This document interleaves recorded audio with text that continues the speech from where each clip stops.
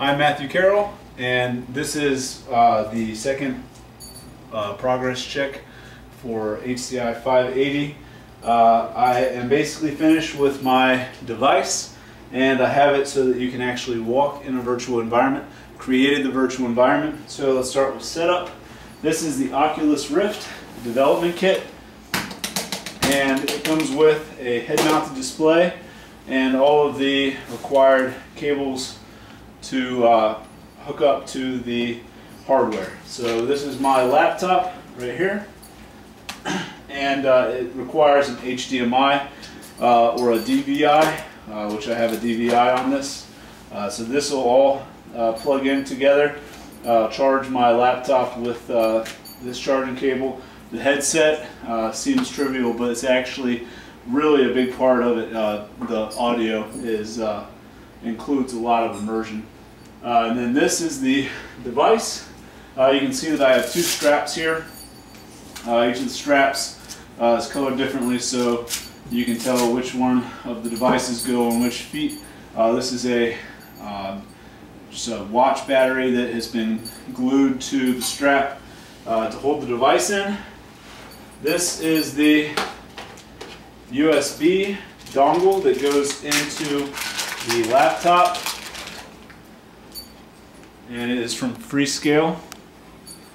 And it just hooks into the USB port on the side. And then this are these are the two accelerometers that will be hooked up to those straps. And it is amazing how much math is packed into this tiny little chip. But uh, this will be hooked up to the ankle strap like so. And then there's uh, buttons right here that are pressed to calibrate. So I'll hook those up really quickly. And then you're not going to see, but I will take all of this and I will plug it, or I will pack it into this bag, wrap it around the chair, hopefully it stays, so that uh, you can sit without all of these cables uh, actually getting in the way. Into the software uh, side of it to make the uh, a program that would uh, demonstrate the walking around in the environment and needing to move around quickly and multiple degrees of freedom uh, just so that I could uh, best show the device and how it works. so what I did was I created in Unity a zombie game and what happens is the zombies attack and uh, try and kill you. So if you can see, a zombie's coming at you and when they attack, they actually bite and make a biting, biting noise. So we can get away from them. They fly also.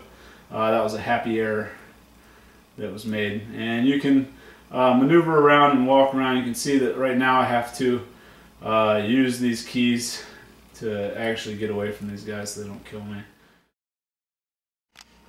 Alright, so this is my lovely assistant, Christina, and she is going to demonstrate uh, these device.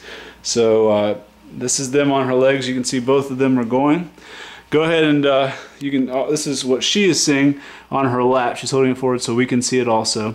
Uh, it's going to be a mirror image because uh, it's facing us. So go ahead, Christina, and move to your right. Keep going. All right. And go ahead and move to your left.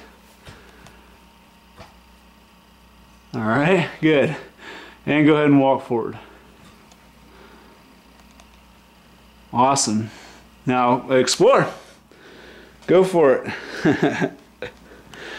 All right, and as you guys can tell, uh, these are kind of hard to record because like I said she's got a lot of freedom and uh, I'm kind of limited to where we can watch. But she's able to look around plenty and get around this whole level. You'll notice that uh, this is not the zombie level yet.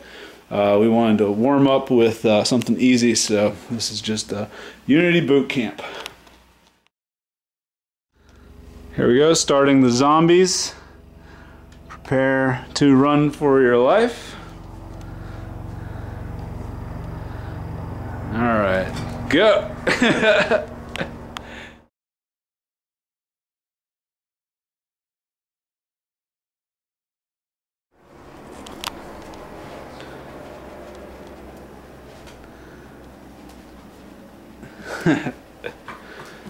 How's it going in there? It's good. There's lots of zombies. flying.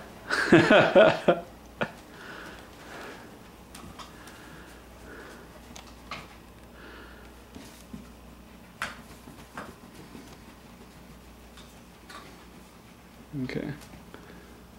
And you can see that even though this is not wireless, uh, it's pretty easy to use. She can spin around as much as she wants to uh, to get away from these guys, and she has uh, pretty much all the freedom that she would need.